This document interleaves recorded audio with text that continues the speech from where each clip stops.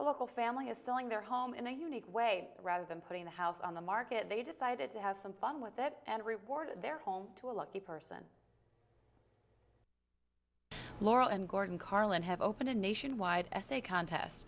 The reward, their home. Each entry costs $100, and the subject of the entry, they say, is up to the writer. No real subject, but it's just what you, um, why you think you should have the house. It could be what you, you know, plan to do with the house, or why you need the house, or um, just a base, just a good reason why you think you should have the house.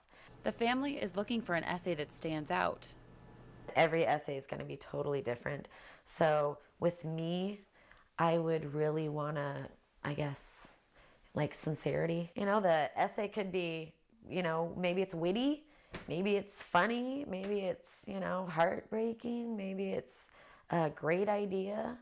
So, I mean, we're not just looking for like people's like, you know, we're not, it's not a pity party. We're not looking for people's like, you know, tragedies or it's just every person is going to be different. Although there is a minimum requirement of 3,000 essays, they have encountered questions as many people believe this couldn't be real and there has to be some quote fine print.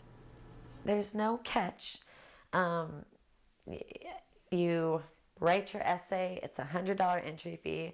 If you get picked, you win the house free and clear. A once in a lifetime chance. I mean, you know, not too many chances that come up like this, especially where we live.